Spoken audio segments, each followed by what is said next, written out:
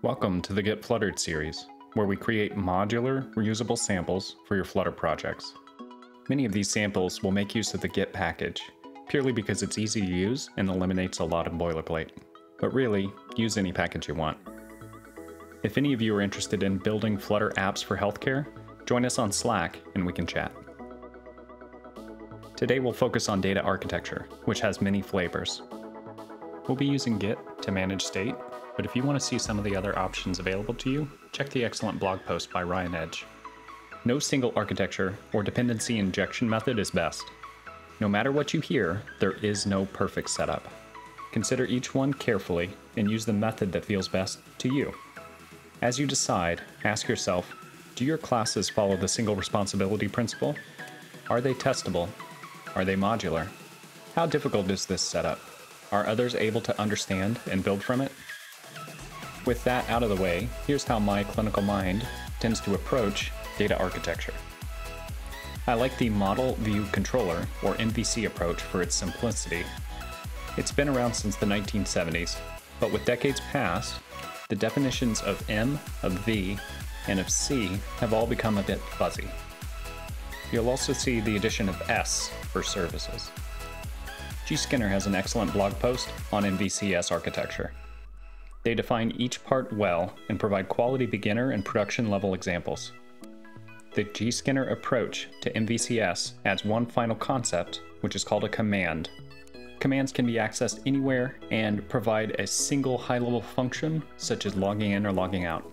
Note that G-Skinner's examples make heavy use of provider, of change notifier, and of stateful widgets, which we're trying to avoid. To simplify this, which I'm calling Get MVCS, I needed to make a few changes. The biggest difference is that I'm using the controller to manage state, not the model. In Get, state is managed by GetX controller. I have a lot of trouble justifying code that says class model extends controller, so I just gave controller charge of state to avoid confusion. Model, by contrast, holds all of the CRUD operations or the event operations that you'd see in a BLoC, and it serves as the single point of failure between your data and the controllers and services that access them. We'll start with the minimum necessary code for a Flutter app.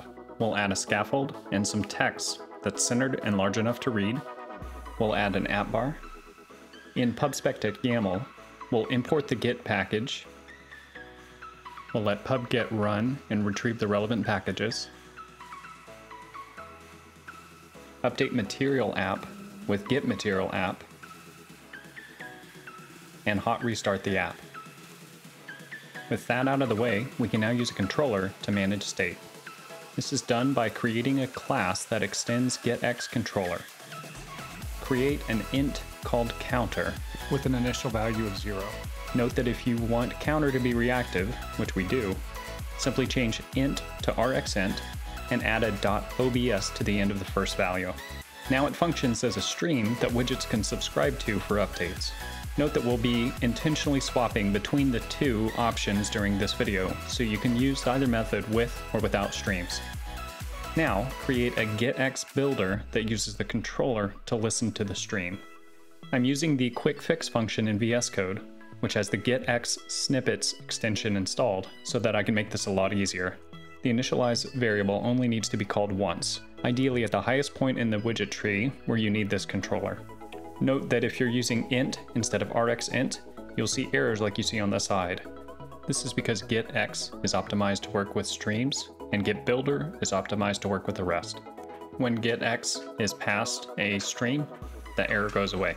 You'll want to be comfortable swapping between the two, because streams are wonderful, but you don't necessarily need them in every part of your application but you'll see this covered at length throughout the videos. Finally, we'll wrap this text widget with a column that has its main axis centered. And we'll add buttons that allow us to count up and to count down. And just like that, we've created the Hello World counter in less than 50 lines of code. Now let's up the ante to make things a bit more interesting. We'll add a row. We'll use the quick fix function on this column to turn it into its own stateless widget. and we'll name that counting column. Then we'll replicate that a few times within our row. If you want to call a controller inside multiple widgets, you can use the builder method like we did with getx or getBuilder, or you can use get.find. Just remember that get.find does not initialize your controller. And you'll want to create a static method within your controller so that Get knows which instance to access. I'll cover this more in my video on data binding. So now we have three counters, but they all connect to the same data. We'll remedy this by turning RxCounter into a list of RxInts. And create new methods to handle counting up or down. Use the spread operator in our row to map each RxInt variable into its own counting column widget. Using the spread operator on the left and the dot map iterable on the right, you're able to take each item within the list and pass forward a counting column stateless widget. Then we pass the RxInt variable into the counting column widget. We'll make this a required named parameter that will accept each mapped item from our list. Finally, we'll let the controller handle the count up and count down for each item. This will later be extracted into its own separate command. Note that these methods were created in our getx controller earlier in the video. If we change controller.rxcounter to item, it'll know which item from the list to call. As was mentioned earlier, getx and obx require a stream to work properly. We want these widgets to redraw whenever the stream changes. We'll wrap this column with an OBX so it can pay attention to the value. Then we'll go up to the top of the widget tree, which is where the error message lies. We need to swap getx with getBuilder since no streams are directly called here. In essence, getBuilder is the first thing to call counter controller, and each counting column stateless widget will use its own stream. Now that each column has its own Rx counter, let's do some more optimizations to the code.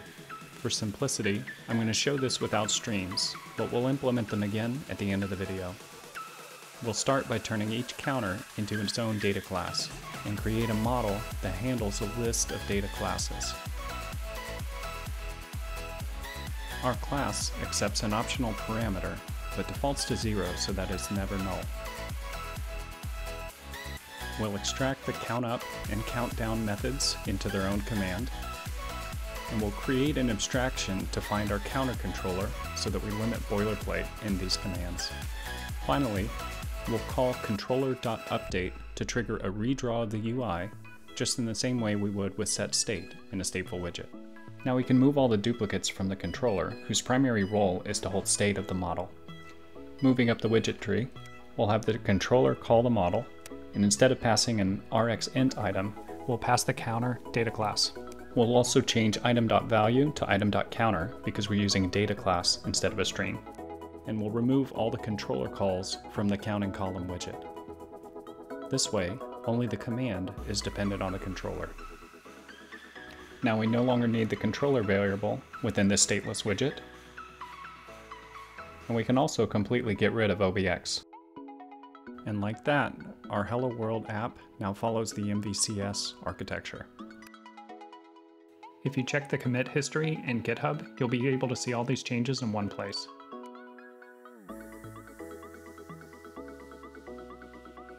If we want to implement this with streams, we'll add .obs and .value back into the code. Since it now works with streams, we no longer need to call controller.update in our commands will change how the counter class is instantiated and we'll re-implement OBX within this stateless widget and hot restart the app. That's it. You now have a reproducible code base that follows the single responsibility principle.